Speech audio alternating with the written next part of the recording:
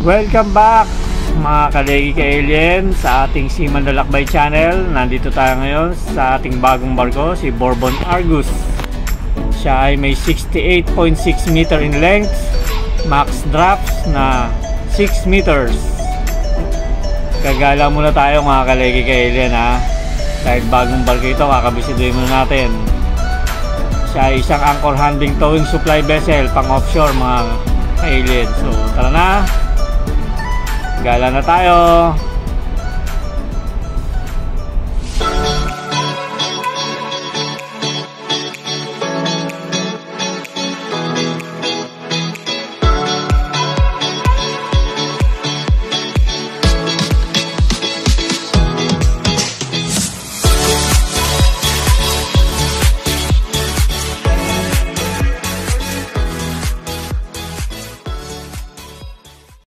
Kauna-una ang gagawin natin bago mag-duty ah.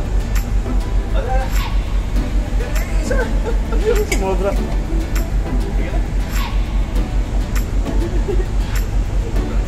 Ah, issue lang yan. Ah, sobra pa ng... Oh, yan. Makapaw yung kape, kaping bara ako. Tapang. Sa, sa, sa tapang ng kaping bara ako. Wala. Wala.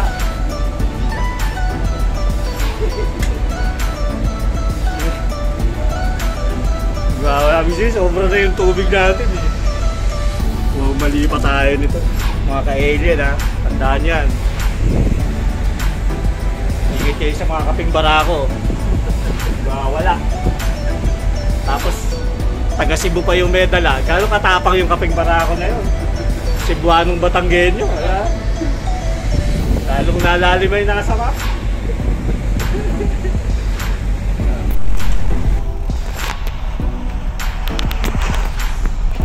Tara na, mga kalegi kailen from cabin.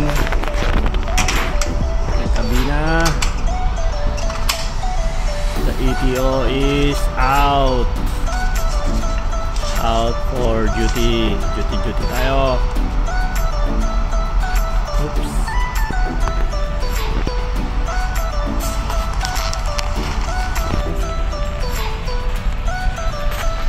Siya nga pala, ang ating Bourbon Argus ay ginawa noong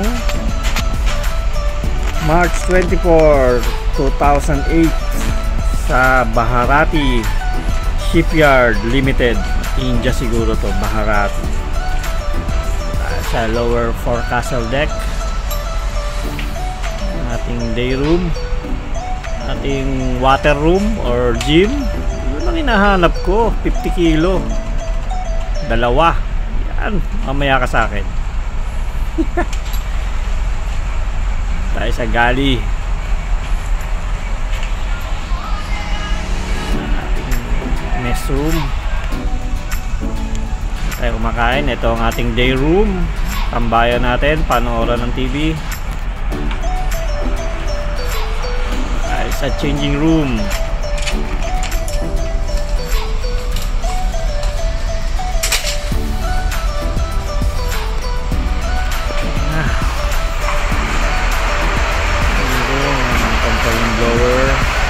Engine room.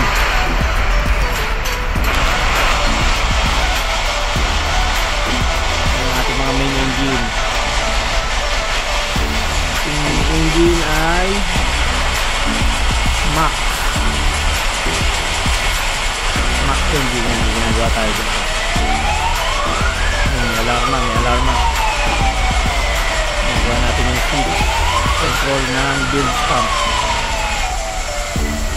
Bisitahin natin ang ating third engineer, Missing at ang ating second engineer. Kita nyo naman ang edad. Nahalata sa buhok ang edad ng ating second engineer. From Cebu City. Okay, let's go! Yan ang ating magiting na oiler, mga Angolian yan, mga Angolano.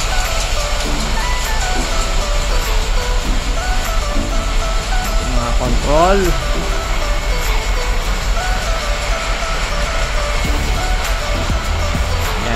kulay pula yan yung fire fire pump.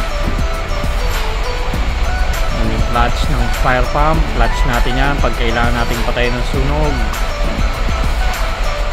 Ng ating Mac engine. Straight 8 Engine the name you can trust. Warning. Cool down muna daw siya bago buksan.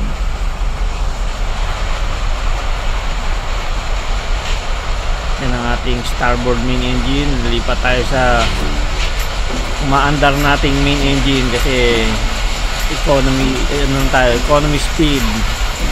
Isang engine lang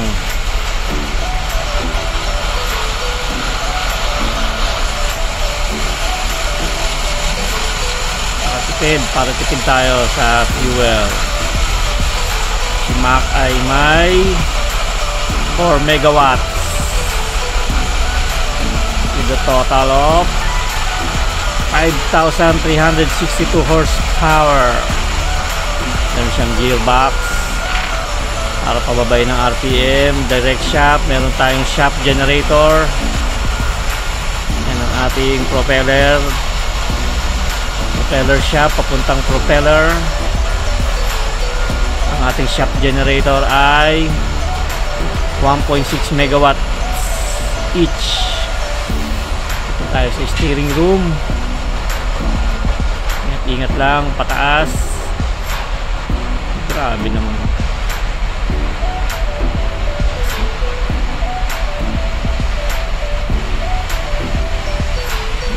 area is our steering power pack port side. O yung kaliwang bahagi. Yan ang ating rudder. O yung timon ng barko. Port side yan. Port side timon ito ang ating control ng stern thruster. So, meron tayong stern thruster. Lipat tayo sa ating starboard. Starboard side rudder control. Steering gear. Dalawang ating hydraulic power pack. In case matigok ang isa meron pa tayong isa pumasok tayo kanina sa port side. Capstan power pack. Lalabas tayo sa starboard side. Tandaan nyo mga ka-alien meron tayong dalawang shaft generator with 1.6 megawatts each.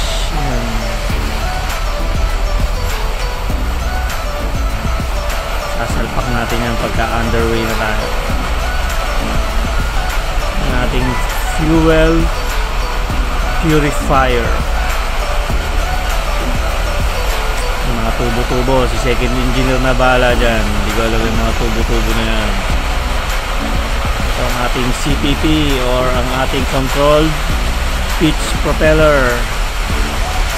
Power pack. Yung angle angle ng ating mga blade ating diesel generator 1 diesel generator 2 meron pa tayong dalawang diesel generator. Meron pa tayong emergency generator nandun sa taas. Hindi nyo kami mapapa blackout ang ating piston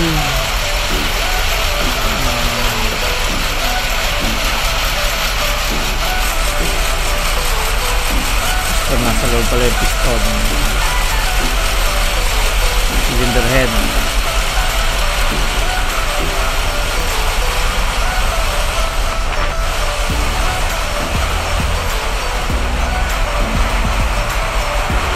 babaw ng makina Mac. Wasak na wasak ang puso ni Nasty Mac. Air receiver number 1 number 2 ang receiver natin ay merong 21 bar each para i-start ang ating main engine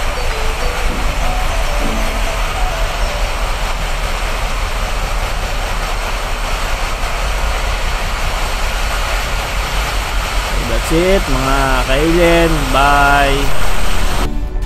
At dyan nagtatapos ang ating Bourbon Argos Tour. Kaway-kaway sa ating mga tropa dyan sa Sicor.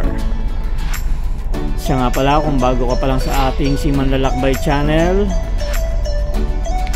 Please follow, like, share, and subscribe and hit notification button for more upcoming videos.